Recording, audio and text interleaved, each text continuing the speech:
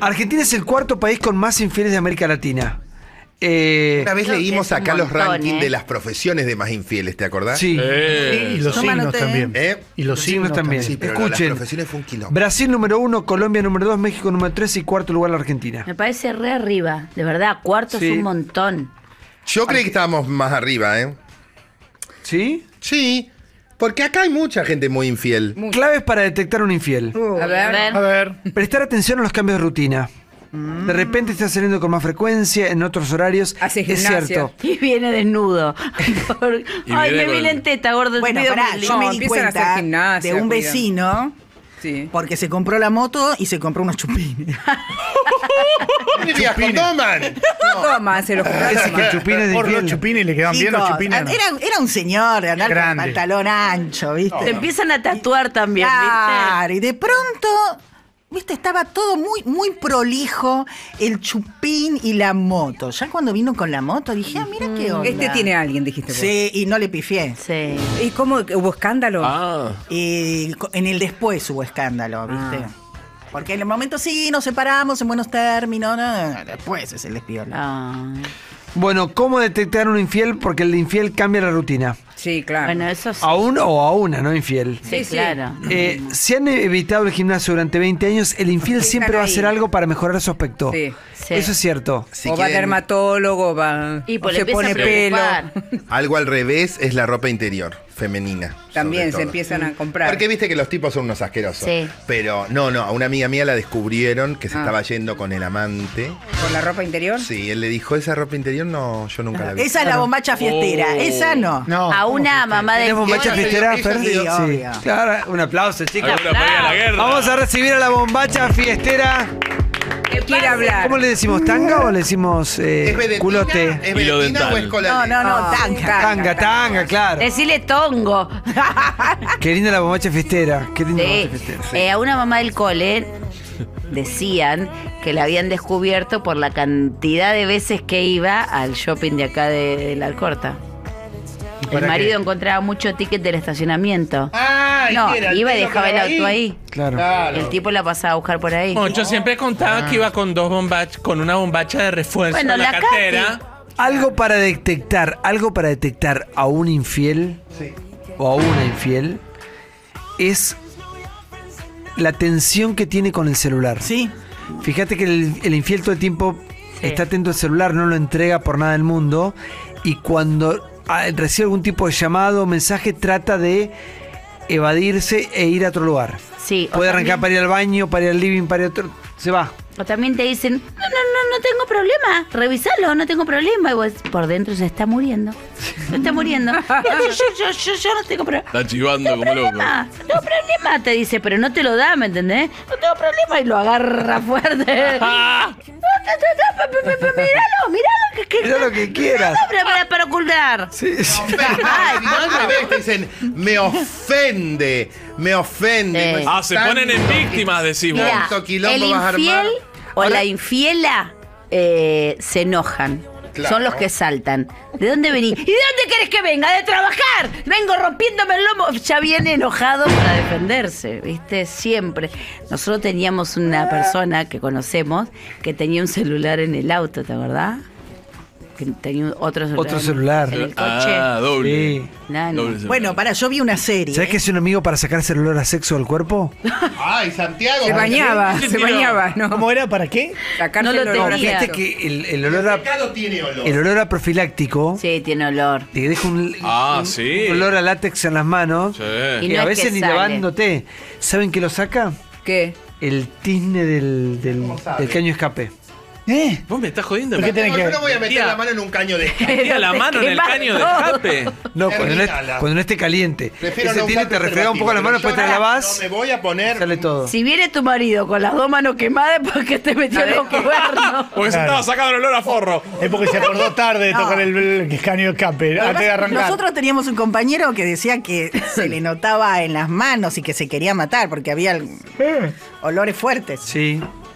Sí, yo conocí ¿Pero una pareja en que. el? ¿En el programa había olores fuertes? No, no, le No, quedaba no, en no. las Ah, manos. en las no, no manos. Las sabía manos le cómo quedaban. sacárselo. Yo Pero, conocí pareja ¿qué y iba ellos la- se olían el, el cuerpo. ¿Eh?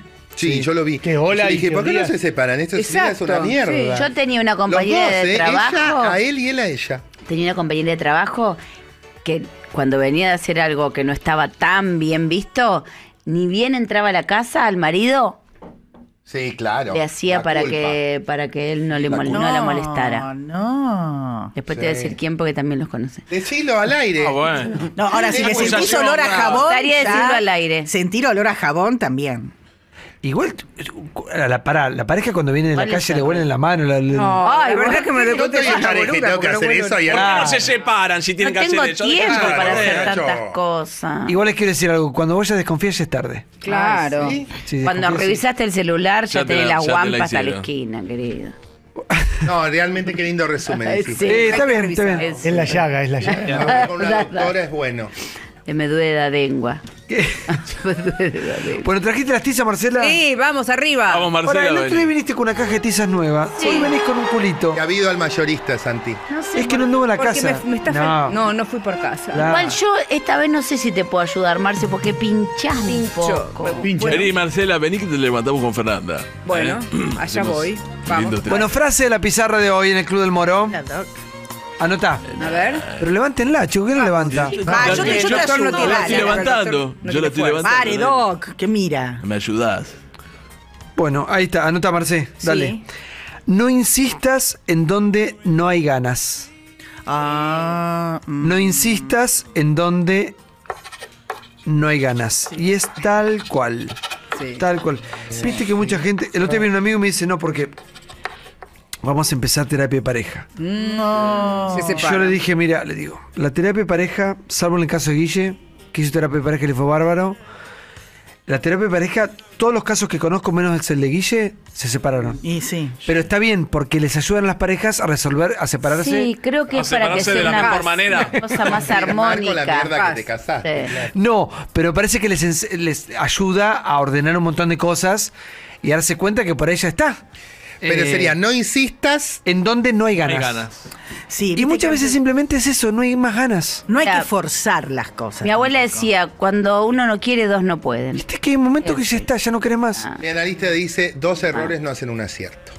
¿Nunca les pasó en la vida que quisieron mucho algo, algo, algo, algo, algo, y un día lo dejaron de querer y cuando eso, eso llegó decías, pues ya está. Ah, pero esa es la historia de mi vida. Y bueno, Ya lo cumpliste, listo. no, no, no lo cumpliste. Sí, o, Bueno. o nunca lo cumpliste. No, ahora no tengo ganas. no tengo ganas. Ahora no tengo ganas. pasó. ¿O no te pasó con una mina que te encantaba y no te daba ni pelota? Ni un día te, Y después, te- sí. Yo sé que está pre- pre- preguntando por vos, Tari, ya, ya no me Ya interesa. fue, ahora. Ah. Ahora. Fue. Ya está, ya fue, fui a. Brasil, ya No, fue.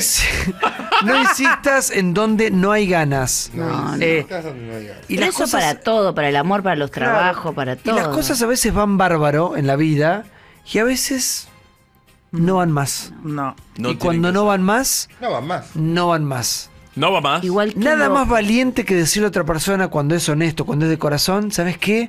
No. No te quiero más. Ay, no, pero es doloroso. Bueno, pero uno miente es al real, pedo. pero es la verdad. Uno miente al pedo. Todas las parejas que conozco se han separado, o yo cuando dejo alguna vez, empezás, no, necesito un tiempo, estoy confundido. Sí, no ¿Qué sé. confundido, El problema no pelado? sos vos. Claro, La- vos te mereces otro tipo mejor que yo. Todas esas pesarte pelotudeces que uno dice. Te vas a Si vos no querés más, no querés más. y no tenés que negarlo. Te vas Está a bien, Brasil, pero- Santiago. Después a Prefiero- Rosario. pero es horrible, Dejar de chicas. Carmen, no me- ¿Alguna ¿Cómo vez, volvés? Está de Brasil. Estudias piano y todo pero alguna eso. vez le dijeron no te amo más? ¿Saben qué feo que es eso? ¿Te lo dijeron, Fer?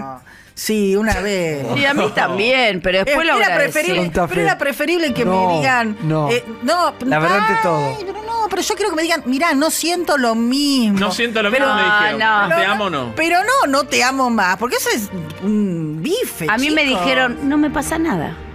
Ay, no.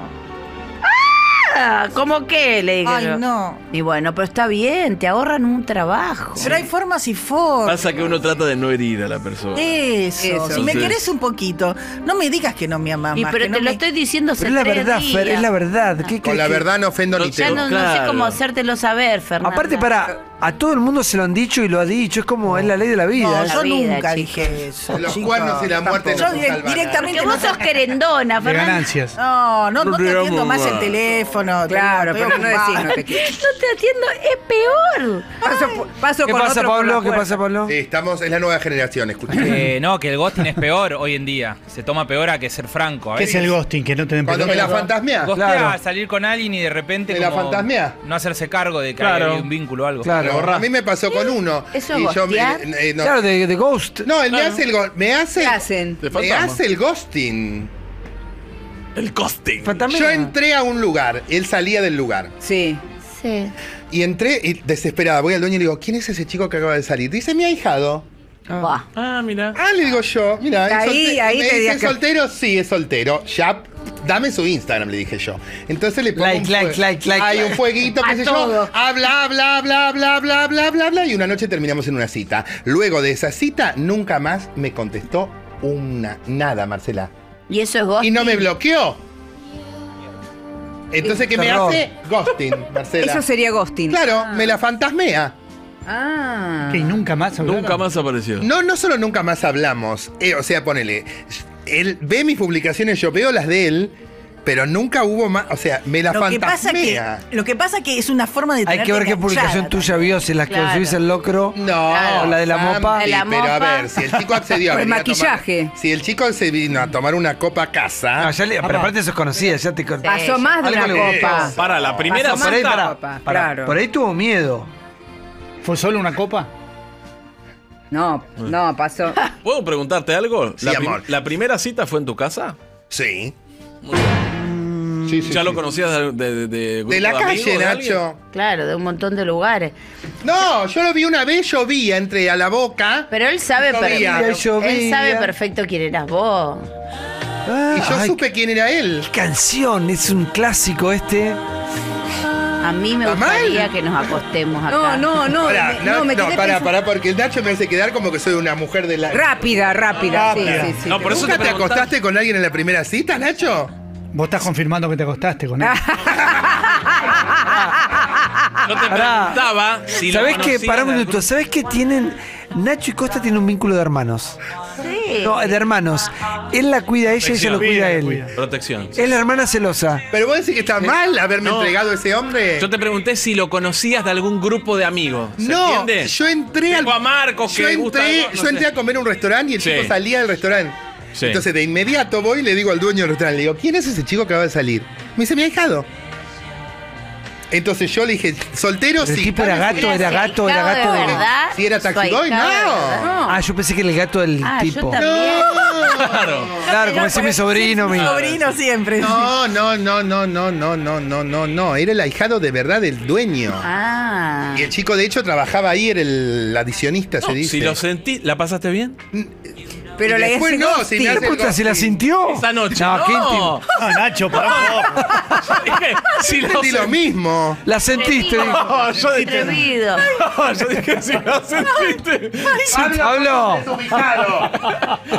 Si sentiste. Pará, por ahí él sintió mucho y le dio miedo volver. No, es que está- eh, yo estoy segura que fue eso. Sintió demasiado. Sí, le pasaron Eh. miles de cosas. Yo lo dije de buena manera. Sobrepasado de amor. Si sentiste eso de llevarlo a tu casa, me Claro. parece muy bien. Y si lo no, yo no sentí eso.